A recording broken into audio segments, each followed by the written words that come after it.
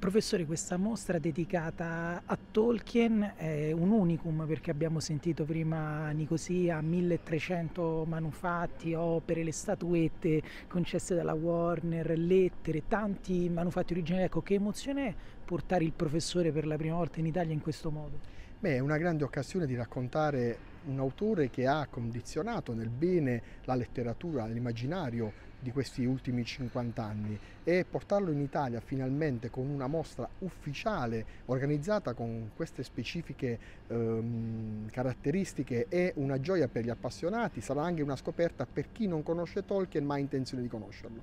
Alcuni hanno tentato di politicizzare la mostra, lei cosa risponde a queste accuse, tra virgolette? Beh, la risposta, ognuno è libero di, di, dire ciò che vuole, la risposta sarà nella mostra. Invitiamo a vedere la mostra, a visitare la mostra, qualcuno si ricrederà e capirà che la mostra è un omaggio a un grande uomo, un grande autore, un grande scrittore.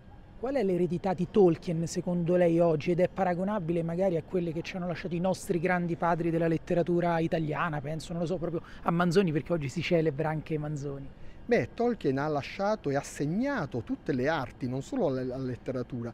Eh, si tenga presente che ha condizionato eh, il, la musica, la, molti gruppi, a mente mi vengono eh, le Zeppelin o ad esempio il mondo dei fumetti, i giochi di ruolo, ma l'arte, tantissimi artisti. È un autore ormai un classico che sa parlare a tutte le generazioni, di tutte le culture, di tutte le lingue, di tutti i credi e riescono, riesce finalmente a portare ciò che di bello ha fatto negli anni della sua eh, produzione letteraria.